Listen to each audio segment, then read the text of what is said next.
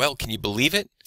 Lecture 20, the last lecture of the course. We're going to close up with photosynthesis, which is essentially the story of glucose metabolism backwards. This is going to be a two-part lecture series, three chunks in the first lecture and two chunks in the second. So this is chunk A of lecture 19. And this is the first half of chapter 22. So let's get started. In this first half of photosynthesis, we will talk about the structure and function of the site of photosynthesis, which of course is the chloroplast organelle that we find in all photosynthetic plant cells. In the second chunk, we'll talk about these photosystem protein complexes, photosystem 1 and photosystem 2. And these are the sites of the light reactions where water is split into oxygen and energy. That'll lead us into the first phases of photosynthesis itself and ATP production. And we'll take a little bit of a detour at the end of this lecture and talk about photosynthesis without oxygen um, and how that might work in some more primitive cells. But let's start somewhere where we're all very, very comfortable. The general notion of photosynthesis. As all of us know, probably from high school courses, if not even earlier, plants take in carbon dioxide and water, and they release oxygen while making food for themselves. That's the general nuts and bolts explanation of photosynthesis. What we exhale, carbon dioxide, plants take in, they take in water as well and energy from the sun, and they break all that down into oxygen as a waste product, which we then use, of course, and um, glucose and food for themselves. So uh, when plants do photosynthesis, they're not doing it to make oxygen for us, the oxygen that we use as the ultimate electron carrier. Uh, plants have no business helping us, and they have no interest in helping us. They're trying to help themselves. What they're doing is making food for themselves. And actually, if we want to get a little bit more biochemical about it, what's going on to the carbon dioxide that plants are taking in is that they are fixing it. Remember, we talked about nitrogen fixation in an earlier lecture, and that meant getting nitrogen out of the air and putting it into more organic molecules. We mean the same thing here with carbon.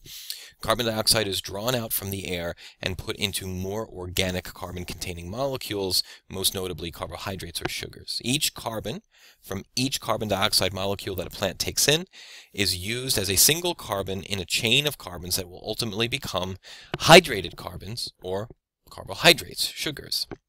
And it's these sugars that plants make through photosynthesis that they live off of. They actually metabolize those sugars the exact same way we do, ironically enough. So here's the most basic and general formula for photosynthesis. A plant will take in six molecules of carbon dioxide, six molecules of water. They will use those six water molecules to hydrate each of those six carbons, creating the carbohydrate or carbohydrate sugar glucose here. And the remaining six oxygen molecules are released as waste, luckily for us, because we need those oxygens to accept the final electrons of the electron transport chain. So this equation, as simple as it is, it actually represents two very complicated biochemical processes. First are the light reactions, which we're covering here in lecture 19. This is the oxidation of water to oxygen and electrons, high-powered electrons, and the dark reactions. The dark reactions are the carbon fixation reactions, where carbon dioxide is fixed and hydrated to yield glucose, to yield sugar. So schematically, we can represent those two phases of photosynthesis in this way. Here is the chloroplast, uh, the photosynthetic organelle of plants. In the light reactions, those chloroplasts absorb light radiation energy and use it to split water into oxygen, which is released, and protons and electrons, which are harvested. And then those protons and electrons, the energy from those electrons, are combined with carbon dioxide in the dark reactions to yield glucose sugar. So we'll follow photosynthesis in this order and start with the light reactions. The dark reactions is what we'll discuss in that final lecture number 20. So this process obviously requires sunlight. That's why it's called the light reactions. It is the radiation energy from sunlight that is used directly to oxidize water to oxygen. And we're still using that term oxidize in the same way. All we mean here is that sunlight energy is going to be used to strip electrons from water. And where the electrons go, the protons follow, so we release protons as well. And what we're left with after we re release protons and electrons from water is the oxygen that will be released. It's the electrons that we're after, though. It's the electrons that the plants need. Incidentally, at the very end of glucose metabolism, the end of the electron transport chain, what is it that we did? What is it that we reduced? We reduced oxygen to yield water. That's what complex 4 did for us in the electron transport chain. So already we're talking about photosynthesis being the opposite of glucose metabolism. The very, very first step of photosynthesis, oxidizing water to oxygen, is the same or opposite of the very, very last step of the electron transport chain where oxygen was reduced to water. The energy from the sun is absorbed by chlorophyll directly. That's a photosynthetic pigment that absorbs light energy, and it's chlorophyll that drives the light reactions forward. The light reactions, as I've already told you, yield electrons, high power electrons, and those electrons are carried by NADPH. You might remember we've discussed NADP quite a few times now at this point in the course, and NADP is always our specialized super high energy electron carrier, and such is the case here as well. These electrons from water are so high energy that we need NADP to carry them. Uh, this NADPH will be used in the dark reactions as a potent reducing agent by giving those electrons off to other things. They'll also be transferring energy to those other things in the dark reaction, and it's that energy that will be used to make glucose. We'll also need energy in the form of ATP for the dark reactions as well. The dark reactions are very energy intensive. So if all of this is happening in the chloroplasts, let's be very comfortable and confident with what the chloroplast actually looks like. In photosynthetic prokaryotes, in bacterial cells that can make their own energy, photosynthesis occurs in small granules that are bound to the cell membrane. Remember, no organelles in prokaryotes. But in photosynthetic eukaryotes, such as normal green plants and algae, all of that photosynthesis occurs in the chloroplast. Chloroplasts are believed to derive from the same place mitochondria have. Chloroplasts have their own genome, they have their own DNA, and they believe to be the remnants of an engulfed um, photosynthetic prokaryote that was eaten a long time ago by a proto-eukaryotic cell. So here it is in all its glory, a plant chlorophyll, uh, uh, chloroplast with chlorophyll in it. Uh, again, the organelle where photosynthesis occurs, and we can appreciate right away that the structure of a chloroplast is far more intricate and involved than a mitochondria that we've seen before. Uh, yes, it's membrane bound, much like a mitochondria is, so we see some parallels there as well. Also, chloroplasts have an inner and outer membrane, just as mitochondria do. They even have an inner membrane space, but that outer membrane is shown here in green, and the inner membrane is shown here in orange. And the inner membrane space is this very thin void between these two membranes you might see that where we would have the matrix of the mitochondria, there's a whole lot more going on inside the chloroplast. And let's break these structures down. Chloroplasts contain in their center grana. These grana are these flattened disks of membrane that we see here. Grana is the plural. So you are looking at here a stack of one, two, three, four, five, six grana. Each individual flattened disk is a granum. These flattened disks can also be called thylakoid disks, and so these thylakoid disks are stacked together to form a grana. These grana are connected to one another by intergranal lamellae. These are these connective tissues, these connective membranes between the individual stacks. That is not a term I will ever ask you to know again. And because these thylakoid discs, these individual granum of these thylakoid discs are hollow, we have an even deeper area of the chloroplast that we never encountered in the mitochondria. And that is called the thylakoid space. So let's start in the most interior portion of a chloroplast and work our way out. Let's have this chloroplast structure make the most sense in that way. The most inside you can ever get inside a chloroplast is the thylakoid space, the hollow area within a single thylakoid disc. Many, many thylakoid discs stacked together make a granum. Granum are connected to one another by intergranal lamellae and all of these stacks taken together are grana. The empty space outside the grana, enclosed by the inner mitochondrial membrane, is referred to as the stroma of the chloroplast. So all this dark void space that you see here and here and here, this is all stroma. Surrounding all that stroma is the inner mitochondrial membrane. Then you have the inner mitochondrial space leading to the outer membrane of the chloroplast. So there is a lot of structure, intricate structure, within the chloroplast itself.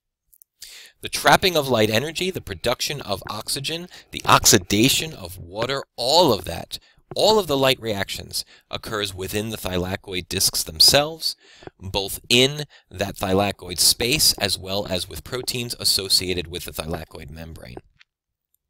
The fixing of carbon dioxide into sugars, of using all that energy and fixing that energy um, into carbon dioxide to build carbohydrates, essentially the dark reactions, all of that occurs in the stroma, the space outside of the thylakoid discs, but still contained within the inner mitochondrial membrane.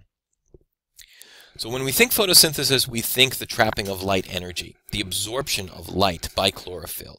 So let's start with that very comfortable place, something that we're all familiar with already. This is the primary and defining event of photosynthesis in general, and so this is where we'll start.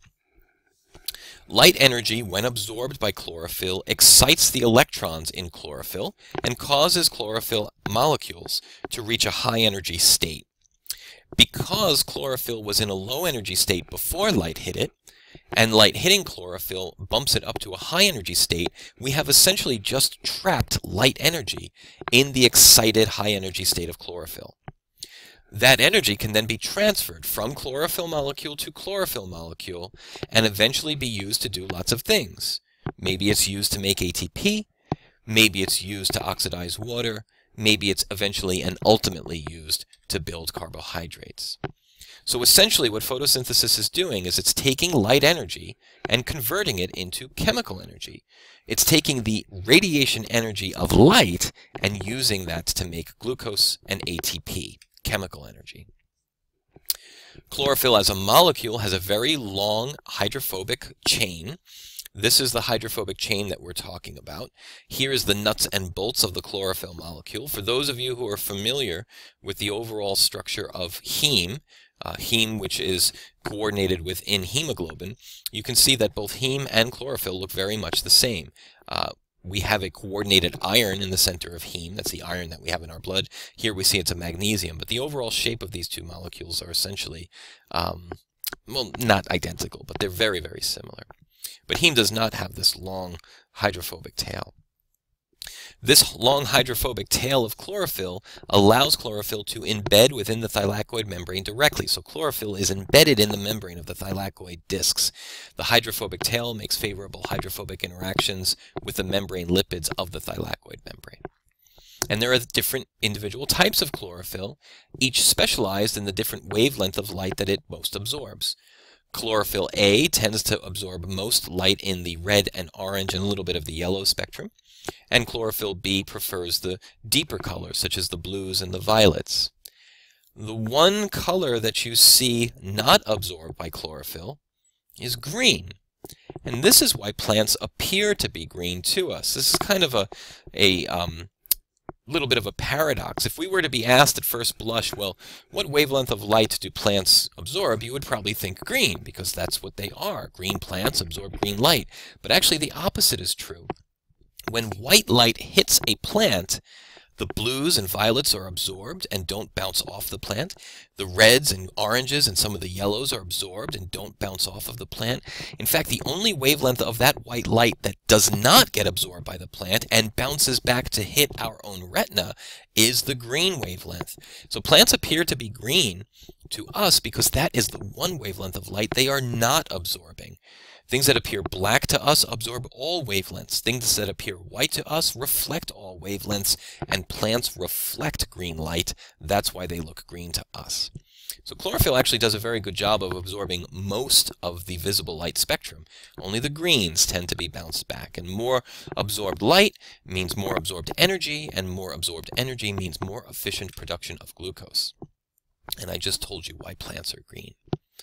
Plants also contain what are called accessory pigments. These do a pretty good job of absorbing a lot of the other wavelengths of light too. So essentially plants, uh, chloroplasts in, in particular, are very, very good at absorbing light energy, and they should be. That's their primary source of food.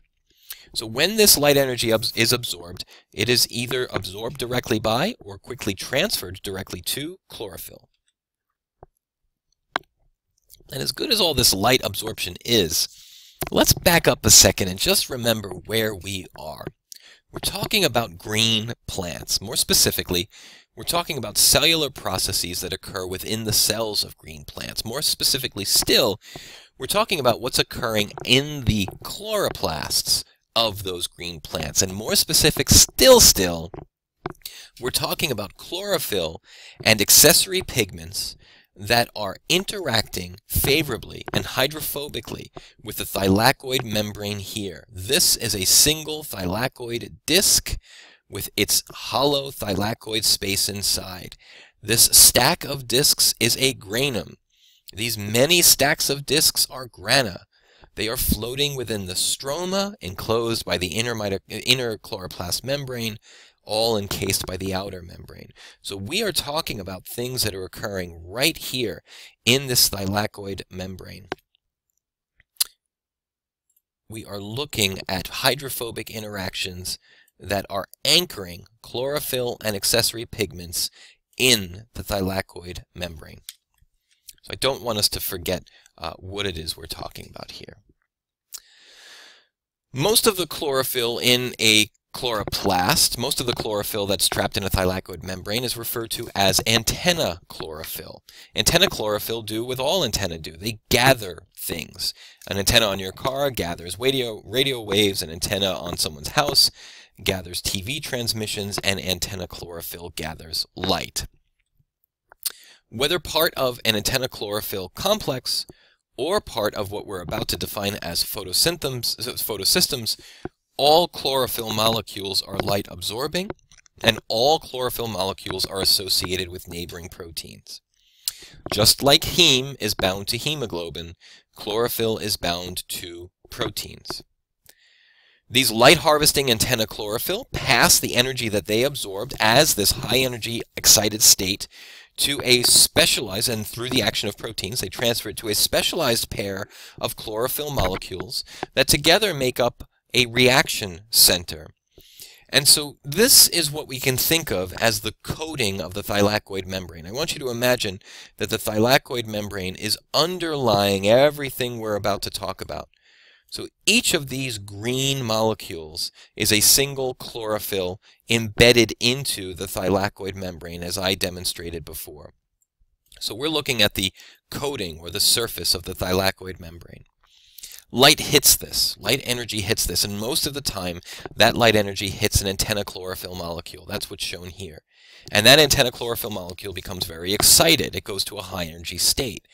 And as I just told you here, that energy of excitement, that energy of electrons in higher valence shells, is passed from antenna chlorophyll molecule to antenna chlorophyll molecule. It's almost like the energy is passed from chlorophyll to chlorophyll in a game of hot potato until sooner or later, through this random path, that energy, that light energy, that light energy that is captured now as excited electrons, meets a reaction center.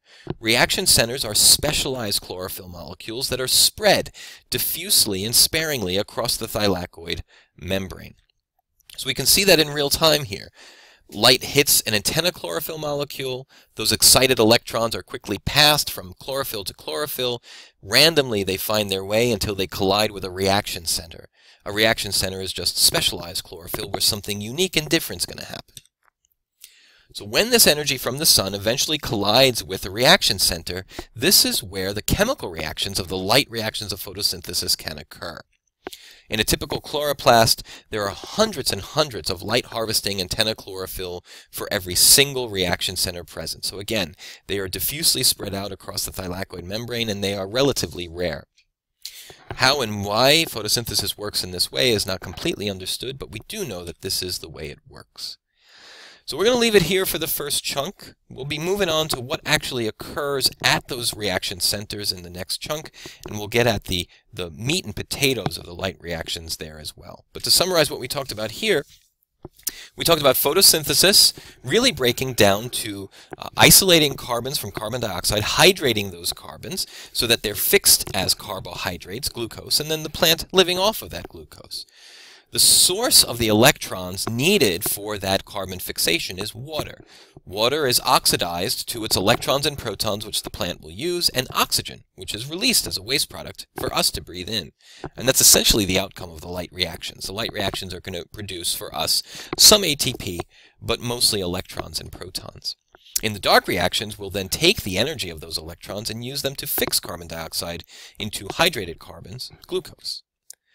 The energy from the sun is directly absorbed by chlorophyll molecules, most importantly antenna chlorophyll molecules, that are embedded within and coat the thylakoid membrane. And it's this uh, absorbed sun energy that will be used for the light reactions of chloroplasts. We went over the detailed structure of a chloroplast, starting with the thylakoid space, out to thylakoid discs, then to individual stacks of grana, and then the many um, granum, and then the many, many grana. grana. We talked about the stroma space, the inner, the inner chloroplast membrane, the uh, inner membrane space, and then the outer membrane of the chloroplast. And then we went into the actual uh, light absorption process a bit more, where light hits antenna chlorophyll, excites that antenna chlorophyll into a, a higher energy state, that energy is then passed from chlorophyll to chlorophyll until eventually it's going to collide with a reaction center. And here is where we leave it for chunk two. What happens once that energy makes it to a reaction center? What do these specialized chlorophyll molecules and the proteins they're associated with actually do? And that's what we will talk about in the next lecture chunk, uh, lecture chunk B.